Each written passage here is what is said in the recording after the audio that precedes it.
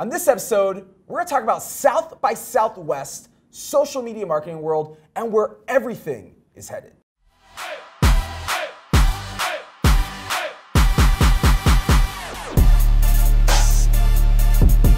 Hey, what's going on, everyone? Carlos here. Welcome to another episode of Real Talk, my all new series in which I interview interesting guests in the world of business and answer your questions. I am back here at the NASDAQ Entrepreneurial Center in San Francisco next to my tag team partner, Jena. How's it going, Jena? It's going well. It's really good to see you in person. I think I've been seeing a lot of you on the internet. My ads are show Carlos Gil, so thank you. It's good to have you back. How does it feel to be back in San Francisco? Well, it has been a whirlwind of a couple of weeks. So I've taken a little hiatus from recording the studio while I was out at Social Media Marketing World last week and the week before that, South by Southwest. A lot of folks have been seeing the Hustle Diaries on YouTube as well as on Facebook. So thanks to all of you out there. But it has been it's been it's been a grind. Sure. I'm not going to sugarcoat it. like being out on the road and you know going in and out different events, meeting different people. You know, I love doing that sort of stuff. But along the way, I've met some really really cool creators and peeps. And for me, this so this South by Southwest specifically was different because it was my second. Last year was the first, and it's like anything else. You go to your first event and you're really jazzed up. You want to take in all the sessions. And this year is different. So I spoke at two events. I also hosted an event as well at South by. And I'd say probably what I enjoyed the most was was actually meeting creators. There's a lot of creators. So you see what I'm doing. I'm creating a lot of content. We're here in the studio here in San Francisco creating content. And the last three to four months for me have been more about transitioning from being viewed as a guy who's just a Snapchatter to really being much more multidimensional and being able to create content on the different platforms and take people behind the scenes. And as I'm meeting creators and I'm meeting some of the top Snapchatters and YouTubers out there, we're having these very real conversations about where this is all headed. Are we investing our times on the right platforms? And should we realistically be you know, expanding our reach on others? I just want to go back for a second because you said that you were just at South by Southwest, not for the first time, but for the 2nd mm-hmm. time. So elaborate on that difference. What was your strategy going into it this time? It's a very good question. So I often say this, especially to a lot of younger folks, is as you're getting started in your career, it's all about access. Once you have the access, meaning once you've been there, then it's all about the opportunity. I went to some different events out there, like you know YEC, uh, you know, rubbed elbows out there with Ja Rule and Gary Vaynerchuk, and you know, met some you know folks that are, are starting up some very impressive companies right here in San Francisco that I want to actually get on the show. Um, so it was more about the opportunity of getting in front of people. Like I said before, early on in your career or anytime you're the first, the first event, you really want to just have the access. And then after that, it's about like, all right, I'm here, I'm planting my, my, my flag in the ground. And now it's more like, how can I help you? How can we work together? And that's just that's just an evolution of, of our careers, right? Once you get to that point where you're speaking on the stages, people start to really look at you in a different light and um, you know, I'd say for me, this South by was just more or less around like everywhere I went, there was a purpose. Everywhere I went, there was an objective, and it was really about how can I, you know, help people as much in their objectives business wise. And I've noticed specifically with the content you've been putting out recently, You've done some shorter form clips, right? You've also been promoting brands or having more partnerships, right? Mm. So, would you say that in this process of going to these events and getting more brand awareness around Carlos Gil, that these opportunities are coming in and you're capitalizing on them as they come? So, the opportunities is a really good question. The opportunities, I'm actually going out and finding them. And I think that's having a background in marketing, especially social media, you know how to get directly to potential sponsors out there. So we were working with, with Mazda, for example, Borrow Lenses. We had some sponsors at the event that we hosted at South by, and a lot of these sponsorships, and this is a tip for, for those of you out there, whether you're a content creator or you're looking to get sponsored, I know you're wearing some very nice Pumas, yeah. the Riri Pumas there. So if you're looking to get sponsorships, you're looking to get brands to work with you, you have to approach them through social media because realistically, that's the easiest way to get a hold of a brand because you know that there's someone on the other line. So Typically, I will just reach out directly through a DM on Instagram. I'll reach out through a tweet on Twitter, and I'll say in the tweet, what's the best way to get in touch? RE colon influencer partnership. And the cool thing about doing that is they can see you right there and then. So like there's no secret methodology for any content creator or personality out there if you want to get sponsored or you want to work with brands other than reach out to them through the mediums that they're using. And then the cool thing about it is that if it's Instagram, they can look at your Instagram profile right there and then. They can see like Jena's into fashion and she really appeals to our brand because we're looking at her. Same thing on Twitter, same thing on YouTube. What I hear you saying is that social media is a really strong platform to reach out for these brand partnerships because they can see in the most authentic way, right, what you bring to the table. Is that what you kind of are getting at what, here? What's it's it's I want to say transparency, but I really don't think that transparency is even the word. Sure. Simply because people put on social media what they want to put out. So if you are presenting yourself as you're into high-end fashion and you're engaging with these high-end fashion brands, then it's a slam dunk. If you go from promoting high-end fashion, but then saying to a brand that's like a completely different vertical, maybe it's like you know automobiles, and they might not necessarily see that it aligns with their brand. So my advice to content creators out there, especially if you, you're trying to get sponsorships, is make sure that when you reach out to them, you are putting in front of them, you're pitching to them what it is exactly that you intend on doing for them. So, case in point, with some of my different hustle diaries that I'm doing now, some of those are getting sponsored, and I'm able to actually show a product to a brand. So when I approach them, I'm able to say, hey, this is what I do. And if you want your product placement, like if it's an airline, or if it's a car, or if it's an apparel, and you want your product to be placed in it, this is gonna be the end product. And you have to make it really easy. Like that's the key. You have to make it really, really easy for these brands. If they have to overthink it, then you're gonna just move on to the next person. So now we've covered South by Southwest. Let's go into social media marketing world because mm-hmm. you are a social media marketer. So what was that experience like for you? What learnings did you walk away from that experience with? I, I first want to say going back to South by Southwest, I was able to see some really cool VR and like 360 okay. degree content out there. So it was interesting because last year at South by, it seemed to be like all about Snapchat. And this year, like there was you know very little in, in the ways of like content. Like I spoke with three other Snapchatters on like the official Snapchat panel at South by, but there wasn't a lot of content around like even live video. It was more or less specifically like on AR, VR, and 360 video, which takes us into social media marketing world. Okay. Social media marketing world is the largest social media conference in the world no pun intended, over 3,000 attendees in San Diego. You have like all the top thought leaders in the industry in one place at one time. Brands, small businesses. Case in point, if you work in social media, then you have to be there. Next year, hopefully, we can get you out there Miss Jena.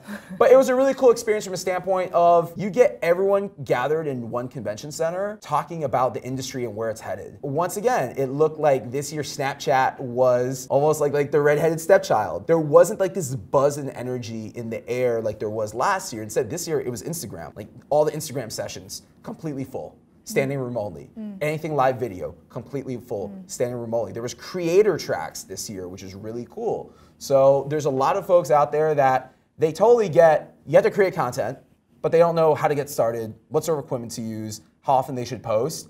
And the cool thing is, once you actually immerse yourself in the art of content creation, those principles apply on almost every single social network. So, just coming back, I've been following your journey for a while. Okay. So, you were on Snapchat heavy. Yes. I, our first interviews, you were pushing Snapchat. You were a champion. And I even told you, I think Instagram is a bit stronger. People spending more time there. And so now you've also switched from just being on, you know, Snapchat, mm-hmm. but creating content for all of your platforms. So what is your strategy now as you see the changes of these different social platforms and what they can do for you? You have to be omni-channel present. That's that's really the answer. Is you cannot afford, and this is my advice. This has been my advice. Sean Ayala, for example, he's a top Snapchatter. I've had a lot of conversations with him over the last couple of weeks at South by Social Media Marketing World. Sean, you know, I'm sure you wouldn't mind me sharing some of this kind of more behind the scenes real talk. But I've been talking a lot with Sean specifically because he's a really talented guy and puts a lot of detail and attention on Snapchat.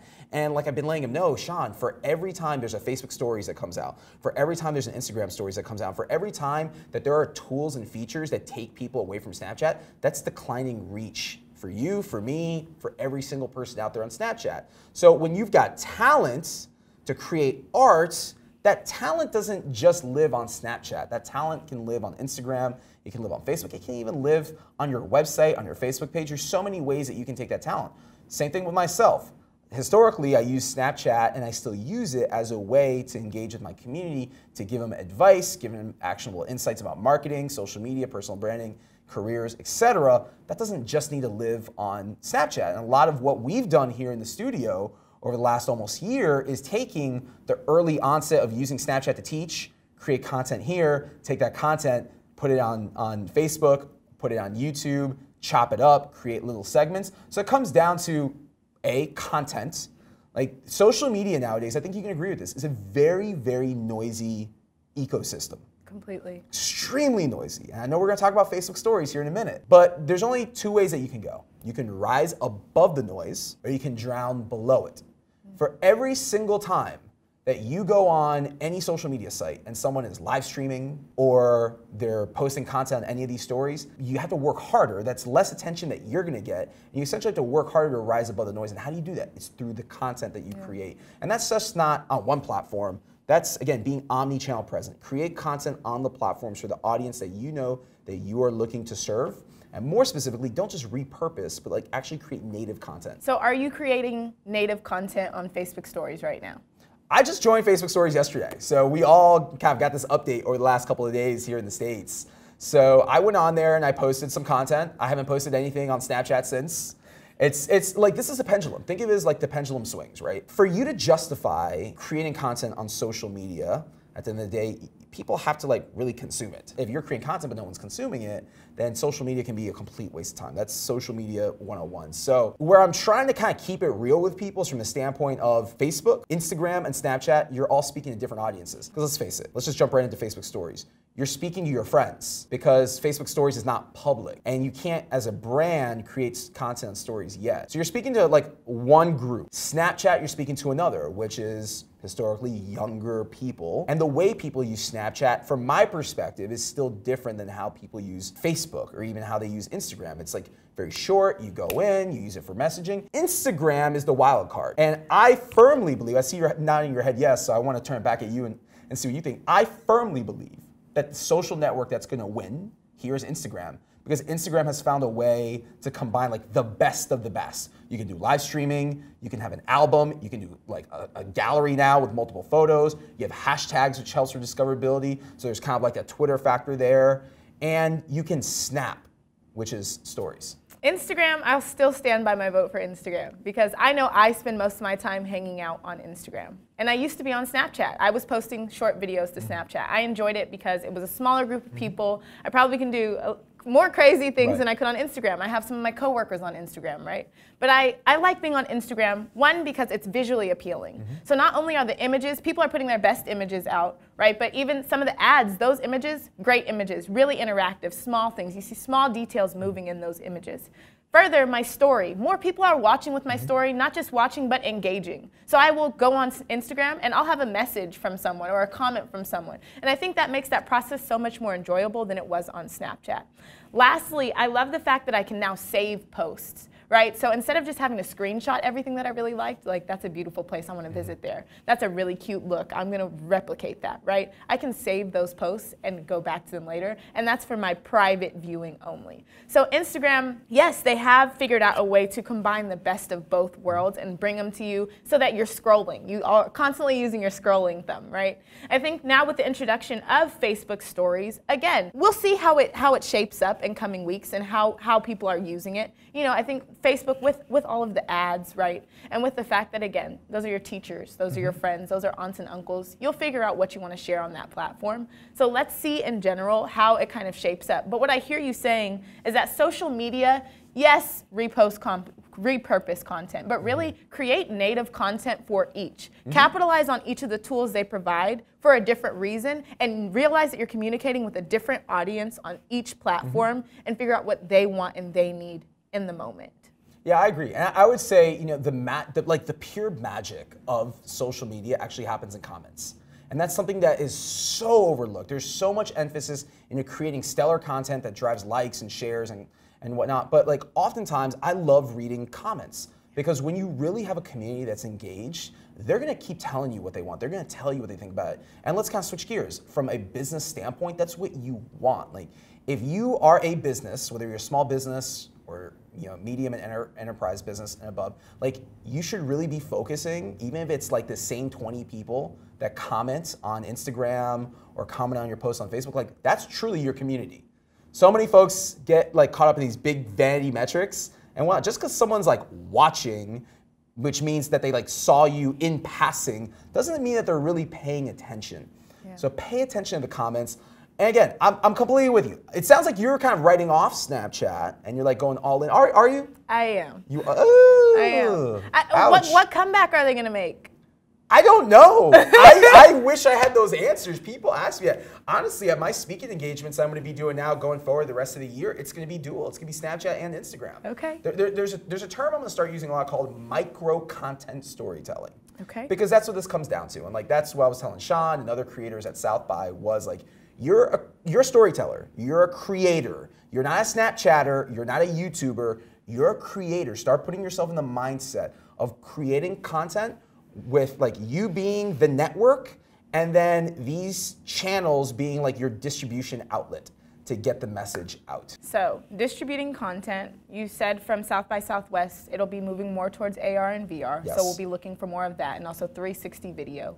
We will continue to put out content or see how it goes on Facebook with Facebook stories. Instagram has the captive audience right now because of all of the capabilities that they have. Snapchat will continue to create. Snapchat will be there. Snapchat Snapchat's a public company. they have shareholders to keep happy. It'll be interesting to see what Snapchat does. I think at this point they keep getting kicked in the teeth by Facebook.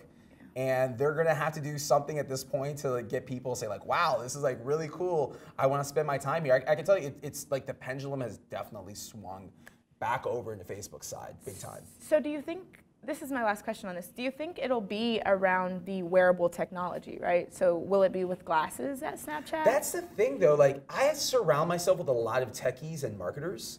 So I often like to throw this back to like the everyday consumer user. Do they really want to wear glasses? I know I was talking with Robert Scoble at South by Southwest and he like had me mind blown. I was looking at this HoloLens that literally like you put on this headset and it transforms your entire room like the room that we're in here now it would transform this room into an arcade like you're in the game and your hands control everything. Like it's completely mind-blowing. So like it's headed that way. He was even saying that with this device you'll be able to have like your own like sports book at home with like every single game up here. Like there in the next like couple years i don't think so. I think it's like anything else. It's going to take time for people to graduate from going to CVS or Walgreens to process film to then jump over to digital camera to then jump over to an iPhone.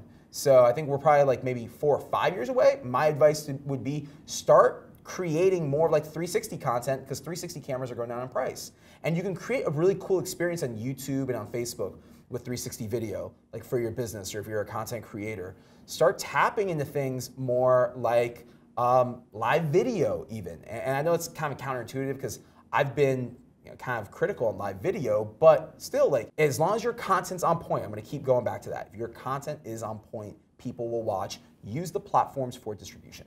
Use the platforms for dis- distribution and continue to create awesome content because Yes. you put out awesome content from Real Talk to Hustle Diaries, which I love the name of. Thank You're you. putting out awesome, relatable content. And when I watch it, when I'm a- I'm engaged with it and I want to share it with someone else. So the ads are not so bad. Which, by the way, friends, that means Facebook ads do work. They so do. maybe I'll do a video at some point talking all about Facebook ads. So, Awesome. Jena, thank you so much. Thank you. for collaborating once again in the studio here at the Nasdaq Entrepreneurial Center.